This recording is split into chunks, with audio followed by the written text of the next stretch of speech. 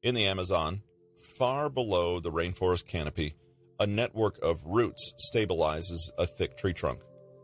Mirroring the branches and twigs among the leaves above, the roots below split into smaller roots, which split into yet smaller roots, extending outward to absorb water.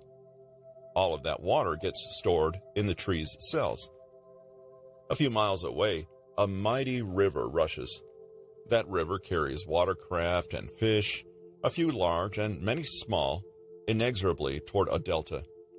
What feeds the great river are smaller rivers, Apurimac and Mantaro, then tributaries, which are fed by streams, which are fed by brooks, which are fed by sources high in the Peruvian Andes.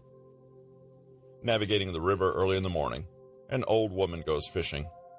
Her body contains a system of veins and arteries that carry blood, enriched or depleted, to nourish every cell in her body. Likewise, her brain and limbs are animated by information signals within a network of nerves.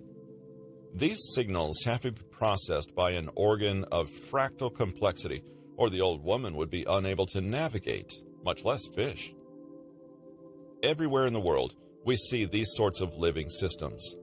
They display the property researchers Adrian Bejan and Sylvie Lorente refer to as few large, many small. This stunning vascularization of everything means that even inorganic systems can have a kind of life, where life is defined as accommodating currents of flow and change. Living systems are thus flow systems, and if a system is no longer able to deal with currents of flow and change, it dies. We can say the same of human systems. To the extent that a human system can accommodate flow is the extent to which it will persist in time, that is, to live.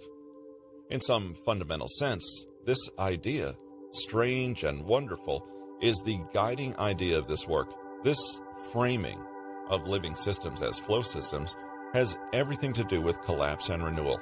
But let me not get ahead of myself.